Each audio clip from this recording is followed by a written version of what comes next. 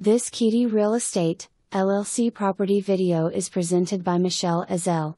Welcome to this incredible 36 acre property with multiple elevations and approx 460 feet of frontage on the I 49 service road. As you drive through the entrance, you'll be greeted by a 1,563 square feet single family home that sits within a fenced portion of the site. Inside, the home needs updating, we have not assigned value to this dwelling.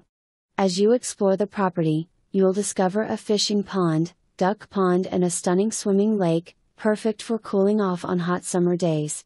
The lake is in good condition and ready for your personal touches.